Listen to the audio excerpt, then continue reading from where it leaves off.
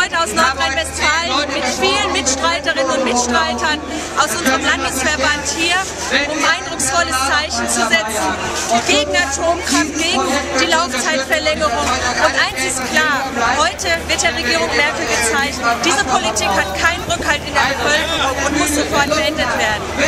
Ja, wir haben der Bundesregierung einen heißen Herbst versprochen und sie kriegt diesen heißen Herbst auch.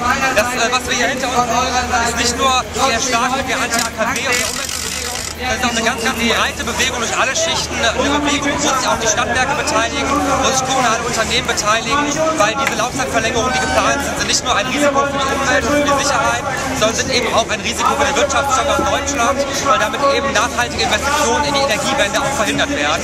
Deswegen sagen wir heute Atomkraft Schluss jetzt. Und auf Dauer Bundesregierung gegen das Volk keine Politik machen können. Und wir setzen hier auf die Überzeugungskraft dieser breiten Bewegung und wir aus Nordrhein-Westfalen werden wir uns weiter daran aktiv beteiligen. Gib und lass es raus, was verzehrt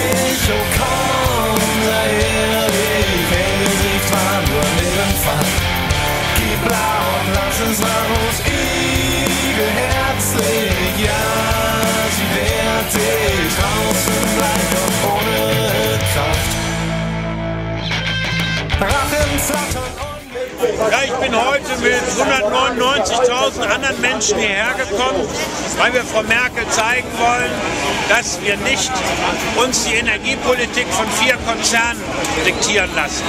Wir wollen den Ausbau erneuerbarer Energien und nicht die Verlängerung von Steinzeittechnologien. bald hinterher.